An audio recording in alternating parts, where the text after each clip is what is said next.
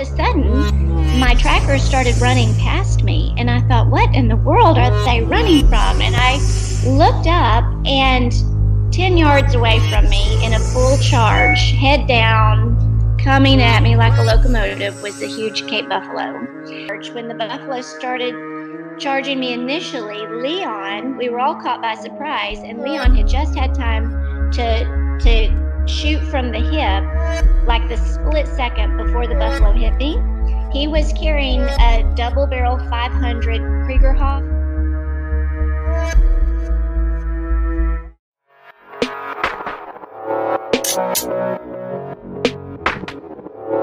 On the Hunter's Advantage podcast, we talk to companies like Drury Outdoors, Vortex Optics, Sitka Gear, the National Wild Turkey Federation, and many more, all to help you. Whether you're a compound bow hunter, a traditional bow hunter, rifle hunter, or however you choose to chase your game, this podcast is the one for you. Whether you want to learn how to spot and stalk elk in Colorado, how to conserve public lands, or how to start a business in the outdoor industry, we got you covered. I'm Christian Babcock. I'm going to be your host of this podcast, and my goal is to help you become the best overall hunter you can be by bringing you high quality tips, strategy, and gear review information from brands and guests that you can trust. Thanks for tuning in on your drive to work, while you're at the gym, drinking your morning coffee, or whatever you choose to do while consuming the Hunter's Advantage podcast. We appreciate your time. So this week on the podcast, I'm joined by Melissa Neugebauer. She is a hunter who has an awesome, awesome story um, that she's going to share with us. So maybe you could just start off by telling us or introducing yourself to our listeners. Well, I'm, my name is Melissa Neugebauer, and I grew up in Albany, Texas. It's a small, tiny spot up above Abilene, northeast of Abilene, and um, I think it's the greatest little town in Texas it was a fun place to grow up. That's awesome. Cool. So, how did you get started in hunting? Um, what got you started in that? Well, my dad was a hunter, and um, he he only had girl children.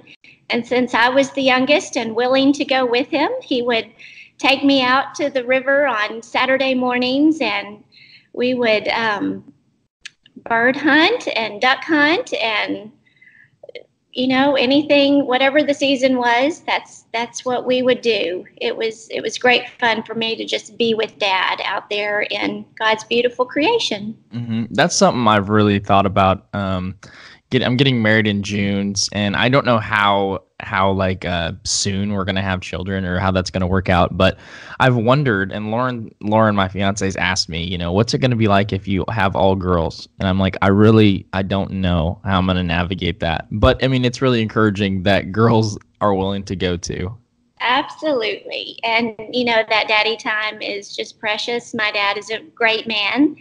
And, you know, it wasn't just about pulling the trigger. He taught me about the flowers and the birds and, you know, just noticing things out there that God created for our enjoyment. And, and yes, the animals are beautiful and it's fun to stalk. It's fun to, you know, good placement of the shot and all of that. But it's, um, it's more about just experiencing God and his creation. Yeah, that's awesome. So what did be happy to do that with their daddies. yeah, I can't wait if that's in the cards for me. So what what animals did you grow up hunting? What what was uh, prevalent in in Texas? Well, the white-tailed deer and um, turkeys, pigs, um, hogs, but mostly, I mean, our goal every year was to to hunt whitetail. I my first buck was when I was 11 years old. It was a little spike, and Dad mm-hmm. was over the moon. I think we drove, I don't know, to 10 of his buddies' houses so that they could all see my bike in the back of the truck. It was it was funny. How does this? How's has hunting looked, and how have you navigated hunting? Um, by being a mom now and you know traveling the world and what role has that played in your adult life right that's a good question um, you know, just scheduling in advance, knowing that um, when we get home, dinner needs to be something easy and quick. And my own precious mother has is a, a saint, and she, um, when when we are hunting, my mom is usually nearby, and so she helps with the dinner preparations and all of that. So just thinking through being a mother and having children of my own before they were old enough to hunt themselves, um, you know, it's just advanced planning and thinking things through and making sure there's somebody to watch the kids when I go out. And um, anyway, we now that my boys and they started hunting early. When we were in Africa, Noah was eight and Nate was 10, and they had hunted, you know, before that trip. And so starting early with gun safety and um, I don't know. I think for me, hunting has always kind of been a family um, activity. My husband hunts, and he actually didn't grow up hunting like I did. But when we started dating and engaged and married, we it's one of our favorite things to do together. We may be in different places, but you know, we you know if we go to different deer stands or whatever, but we know the others out there, and mm-hmm. it's good stuff. Yeah, that's awesome. So Jill Sayer was telling me that I should talk to you because you have a really, really unique story about being attacked by a Cape buffalo. Is it was were you in Tanzania when that happened? We were in Tanzania. Yes. That's. It was. Um, shall I just launch into the story? Yeah, yeah. I just I want to hear the details of that because I've I've talked to a few people about it, and they're like, yeah, that's definitely an episode that I would be willing to listen to. So I, I want to hear the details. Okay. Well, it was 2008, August of 2008, and our family, there again, it was a family event, um, three generations my husband's mom and dad, my parents, and our boys, Nate and Noah. And um, we started in the, uh, the, the area of Tanzania, up in the plains area. And we hunted, had a great hunt up there. And the zebra, the gazelle, um, Plains game, beautiful area of, of Tanzania. And then halfway through the 21 day hunt, we transferred to the Rungwa area of Tanzania. And that's where, you know, more rugged, the that terrible little tsetse fly lives. And so there, it's not populated down there. People can't live down there, and it's just wild. And that's where all the dangerous game live the lions, the leopards, lots of hyena, lots of huge herds of buffalo, and which is why we were down there. Um, my husband had had a really amazing uh, lion hunt. He was successful, and my boys, being eight and 10 years old, wanted to, you know, they were out to hunt for a warthog and, and, you know, whatever crossed their paths. But as we, you know, stayed a few days down there, we ran into some puff adders and some black mambas, and we realized, okay, really and truly, now that Toby's had a successful hunt, we think that it's best for him to take the boys with his parents um, back home. And I stayed to hunt the rest of the hunt. It was just a few days that um, that we had left with my parents, and um, so Toby took the boys just because it just felt dangerous. It felt like we were just you know, looking for trouble, having the little boys over there scurrying about for too many days. So, anyway, Toby had them safely back in Washington, D.C. And on the 18th day of our 21 day hunt, I set out north with my professional hunter. His name was Leon Lamprecht, uh, amazing, godly man, South African fellow. And my dad and his PH went south that day. And so the concession where we're hunting is almost a million acres. It's 900,000 something acres, huge. And so during the course of a hunting day, we never really crossed paths. We would um, we would see each other at, at the end of the day, and, and that was fine and great. We would share stories that um, anyway. So on this particular day, we we set out and we um, pretty quick that morning got onto a herd of buffalo and and my trackers we stalked and they got me lined up. Perfect shot beautiful buffalo but i realized that the the buffalo was in his prime and that's not what i was out to hunt. I wanted to hunt the old guys. And so didn't pull the trigger on that one and after lunch um, from the Jeep, the guy spotted another buffalo, and he appeared to be all alone. And usually, when the buffaloes are old, they um, sometimes wander away from the herd to go off and be by themselves. And so we thought that was that that situation. And so we unloaded and started tracking. And um, I don't know how many miles we had tracked, but we were deep in the deep in out there and tracking along. And all of a sudden, my trackers started running past me. And I thought, what in the world are they running from? And I looked up and 10 yards away from me in a full charge, head down, coming at me like a locomotive was a huge Cape Buffalo. He had been, we think he had been wounded, perhaps. He was bedded down in the tall grass, and so we didn't see him until we got real close. And my trackers, you know, they weren't armed, they had their machetes. And um, anyway, they ran past me, and since I wasn't running, the buffalo zoned in on me, and here he came. And it's a little embarrassing, but at, at, that moment, your brain kind of does what it wants to do. And my brain visualized a large tree, leafy green tree growing that I could run around while Leon, my PH, shot the animal. And so I turned around and I took a few steps looking for this beautiful green leafy tree that was in my mind. And it did not exist. We were in elephant territory, and, and all of the trees were just little saplings. So there was this little sapling, and I caught hold of it to turn around and reassess the situation and try to figure out okay, where is the buffalo? And right as I was turning, the buffalo hit me on the back of the hip and, and tossed me into the air, and I literally did a flip. And when I landed, I came down right between the horns of his, right between his horns on his head. And I landed, I was, my stomach was over draped over the boss that horn of his head and I was right between the horns. So if I had landed two inches to the left or two inches to the right, I would have had um, the horn right through me. And so God is good. And this whole story is really a series of miracles. And so that was miracle number one.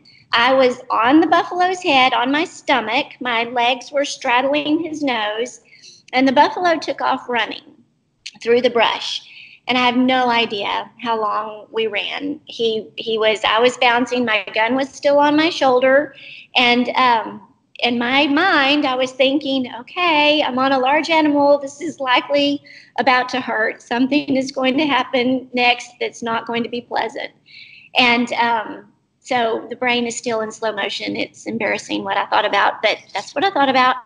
and eventually, he decided he didn't want me covering his eyeballs anymore. And so he slammed the brakes on and threw his head down, and I shot off and hit the ground and tumbled and skidded. And um, when I came to a stop, I was on my stomach. My gun had come off of my shoulder and it was just out of reach. But I could hear the buffalo coming from behind me. And I thought, okay, this is it. Be small. I kicked my legs out um, and I covered my head like a little turtle, and the buffalo ran over the top of me. But the miraculous thing is that this whole animal moving across my body, he did not step on me. And I wasn't watching this whole event because I was, you know, taking cover. I was covering my head.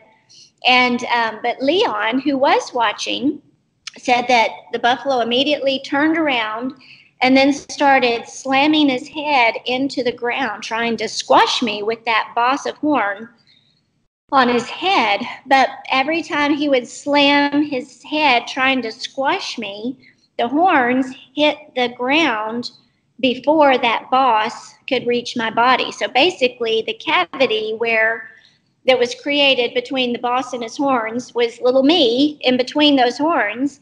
And just simply by the grace of God, he didn't, never touched me, never poked me with the horn, never squashed me with that boss.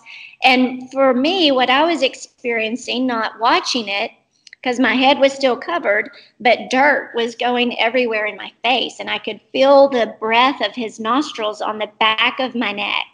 And there was just chaos and confusion. And then, and then he left.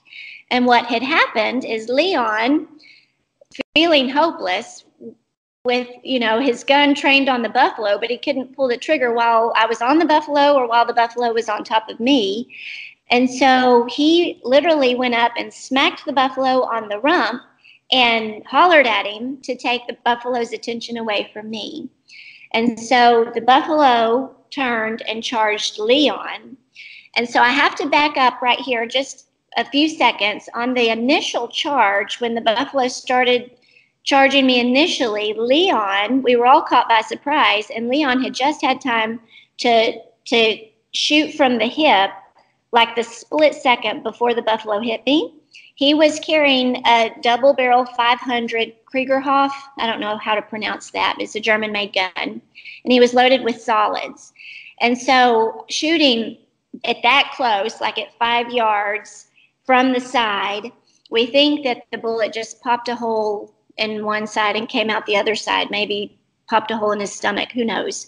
But it didn't. It didn't put him down. It didn't slow him down. And um, that's important because now that the buffalo is charging Leon, you know, this few minutes later, Leon hits the second trigger because this is his second shot, and he realized that that initial shot accidentally he hit the second trigger. And so it was empty, and the gun just went click. And he was then the buffalo was on top of him, and he just had time to swing his gun out matador style. And the buffalo actually hit the gun and bent his hand, it broke his hand. And that when he shot from the hip the first time, he exploded his thumb. His thumb had popped open. And so he's got broken and bloody hands and the buffalo has just you know charged him and he flew one direction his gun flew the other direction. But he scrambled over to get his gun again because during the time when i could tell the buffalo had left me i, I came out of my turtle shell i peeked and i was reaching for my gun to see if i could get it. And the motion attracted the buffalo to come back for me. And so leon yelled at me melissa freeze don't move Buffalo was already coming back for me. Leon scrambled over, picked up his gun, pulled the front trigger, and the he didn't hit the buffalo that with that shot, but the sound made the buffalo veer away from me and head back off into the brush. And so um, that was kind of the end of that main ordeal. My trackers came out of hiding, and Leon came over, and everybody. I was still on the ground, and they said, "Okay, Melissa, what?"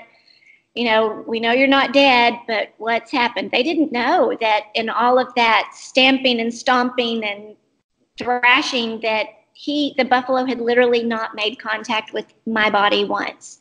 And so I wiggled everything. I wiggled my fingers, I wiggled my toes, and I said, Praise God. I think I'm perfectly fine. And when I started to stand up and I put pressure on that hip, I the, the hip muscle was mashed potatoes. I couldn't hold weight on it, and so I started to you know fall back down to the ground. And one of the trackers caught me. And by that time, our jeep driver was just arriving. When he's trained, when he hears a shot, to start making his way toward his hunter. And so um, he, thinking that I had shot an animal, um, arrived and the the trackers were putting me into the jeep because they knew they had to they didn't know internally if anything had been ruptured or or you know you know that a, a blow like that could pop an organ inside i suppose. And so anyway the the last miracle that is so precious to me is that um, with all of the the shooting and the chaos my dad's driver so my dad had gone south that morning, we had gone north. We could have been six hours away from one another. But during the course of tracking different animals throughout the day, my dad's Jeep driver had seen our Jeep driver when he was headed toward us and he followed. And so, right when they were putting me into the Jeep, my dad miraculously shows up, all excited, thinking, you know, that I had shot a, a, an animal. And and anyway, I, that's when I burst into tears and I said, Oh, Dad, the buffalo got me. I didn't get the buffalo. but um, anyway, it has a very happy ending. We we got back to the safari camp. My mom was there, and she too thought that exciting and celebration was about to happen. And um, anyway, when I when I told my mom what had happened, she just fell on her knees and went into immediate prayer. Thank you, Lord Jesus, for for saving this child of mine, for protecting her. And anyway, we we did fly out to Kenya that evening uh, to the hospital to make sure they did an MRI and, and everything to make sure internally I was okay. And and the doctor that was on call, it was midnight before we got there, and he raised his hands in the air and he said, This glory goes to God because you are not a normal Cape Buffalo victim. That I didn't, I had a few scratches on my back. And, you know, actually, it's kind of funny. After you've survived an ordeal like that, you want a little bit of blood to show that you've been through a thing. But I had scratches on my back and a mashed hip muscle, and that is all. And so, God is good. It's a story of His beautiful protection and sovereignty and Yep, it's amazing. Wow, that's incredible. So I mean, what is what normally happens if someone's attacked by a Cape buffalo? What's what's the normal results? Right. Well, death or a long time in ICU. There was actually a professional hunter um, that what that worked for the Friedkins, and he was in the hospital while I was there. He he was such a nice man. He came to visit me a couple of times. I only spent one night, but during the course of the two days that I was there, I may have spent two two nights in the hospital. I can't remember. I think it was just one night. But he came to visit a couple of times, and he had been charged by Cape Buffalo and had been gored, and he lost quite a bit of his intestines, oh, wow. and had been he was had been in the hospital two weeks already when I got there and so he he just wanted to hear my story over and over again. And he shared his story and he was like, You don't realize how fortunate you are. And I was like, You're right, I don't realize it right now, but maybe one day I'll realize how very fortunate I am because buffaloes are big, you know, 1,800, 2,000 pounds, I don't know. But um, they usually win. They mm-hmm. usually win. The hunter usually does not win. They're, yeah. they're I and I before I went to Tanzania, I read all of Craig Boddington's articles, and I you know read Peter Hathaway Capstick's books, and I know I obviously everybody knows that Africa's dangerous and things happen, but it was one of those situations you think, oh, this happens to random people who live in random places. It doesn't happen to people like me, and so it's just. Um, you know, it changes your perspective having survived something like that and um, it's just I, I guess it was such a mountaintop experience. And i was just flooded with such gratitude and appreciation for god's provision. I mean i have my bible is highlighted through the psalms with verses about god's protection and that he you know sends his angels to to watch over us. And i really i really believe that i experienced the protection of God Himself, but via maybe one of His messengers, one of His angels. That's incredible. Mm-hmm. I mean, so what does this look like? Um, to, how do you tell your your your kids and your husband, "Hey, I just got attacked by a Cape buffalo"? they were in Washington D.C. and and my husband is type A personality. Of course, he springs into action. And at the time when I first told him, I thought you know, nothing is wrong with me other than this hip muscle. I, I really felt like inside everything was fine, but that was not the right answer for him. He needed me to get to a hospital to have it all checked out. And fortunately, we had taken the, um, you know, emergency insurance, the MedJet, whatever it was called. I can't even remember the company we used, but they flew in. Their pilots came that night and Luckily, the pilot, one of the pilots, had had experience flying into that particular little grass airstrip because there's a mountain right on the other side of it. It was almost dark when we took off, and you know, there's not any runway lights out in those places, and so that he knew the terrain and he was able to not crash into that mountain was another beautiful thing. that That's was awesome. um, yeah. Man, God, So- God is good. He's he's definitely good, and he was watching over you. So, did this experience did this not instill any any fear in you, and or discourage you at all to continue to hunt? You know, these really really wild animals. Right. No. Um, you know, I think it probably sobered me a little bit. Like, you know, Melissa is not immune to catastrophic disasters, so it it did absolutely give me pause. But um, I am looking forward to the day that I get to go back into Africa and and hunt again. I've already been on a bear hunt with a good friend of mine. Um, accompanying her. This was one of her life goals. But no, I, you know, there's, we, the world gives us a lot of opportunities to live in fear. And God absolutely doesn't want us to live in fear. He wants us to live abundant life and to walk in faith.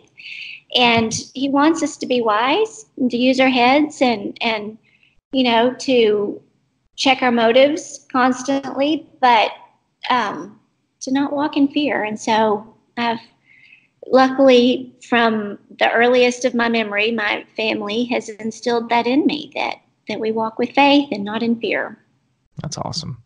So you talked about hunting bear. Was it grizzly bear that you hunted? brown bear Brown bear. Okay, awesome. So how do you how do you prepare yourself mentally for when you know you're gonna hunt something that you know mm-hmm. Cape Buffalo they're not super carnivorous, so you wouldn't expect them to try to eat you. But Right. a brown bear, you know, he he may. So how do you prepare yourself for that? yeah well you choose your hunting guide really carefully and i Right. think i had great confidence in leon and you know to this day leon is one of my heroes because with god's help he saved my life. And i'm so appreciative of that great man. Um, and i knew that he would before this all happened in tanzania i knew that leon was there for my protection and he would do what it took to, to protect me and, and he did. And so when we were interviewing um, outfitters for the bear hunt i had that in the back of my mind and i had some good questions. I said okay you know just a couple of years ago i was almost killed by an animal. Are you going to let an animal kill me? And so putting putting great confidence and a lot of faith in your guide um, choosing your guide carefully i think is for me of great importance because I am a small woman and I, I don't have the strength or the speed or that you know some other hunters would have. Um, so I, I need somebody to be there that and you know you also practice with your gun. You have to have confidence in your ability. You don't go into Alaska without um, having spent a little bit of time at the range beforehand. So you talked a little bit about living fearlessly, how we were not given, you know, a spirit of fear and stuff like that. So what advice would you give to someone like me that wants to hunt these animals except with a bow, which is exponentially, you know, just as scary as with a rifle and you have to get a little bit more intimate. So what advice would you give to me and how how how should I how can I be fearless when I'm doing things like that? That is, I've only I've only bow hunted whitetail deer, and and they don't tend to hurt people.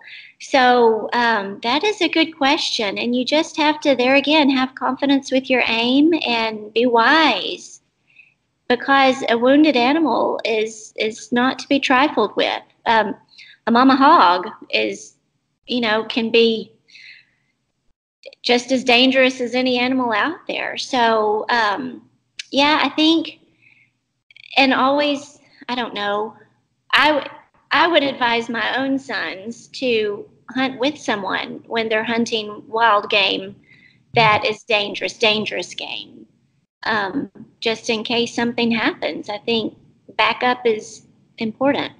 Maybe we could talk a little bit about conservation and for people that don't understand how how in your opinion is animal conservation how how do how do people that hunt care more about the animal than typically people that don't? And it's it's really confusing because you think about um you know the people that care about the animal are the ones that harvest and, and kill some. So how does that make any sense to you you know, I, and I've a- actually gotten to share my thoughts with some people, good friends that are, you know, new friends that were surprised, A, that I hunted at all, and then, you know, had, had questions about the morality of it and all of that. And I love being able to explain to people that hunters over everyone else in the world appreciate wildlife um, because they've been close and intimate. They've watched it. They've spent hours studying the habits of animals, and and a true a,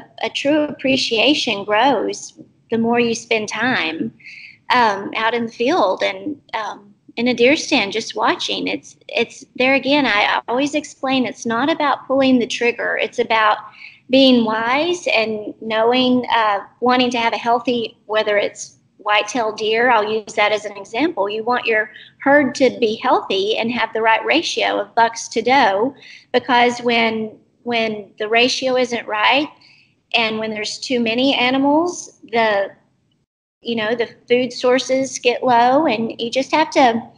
My dad is a rancher, and so taking good care of you know harvesting the inferior bucks before you go for the trophy buck is important making sure you are harvesting the older animals and letting the the guys in their prime thrive. Um, you know all of this is just super important. And in africa the the safari outfits and you know there are always exceptions to the rule. And unfortunately there are always those hunters who who give the world of hunting a bad name because they they don't have right motives and they don't have right reasons and they are trigger happy. So you know taking those to the side a true hunter that loves what they're doing um, will that their dollars those safari dollars support um, the economy of africa.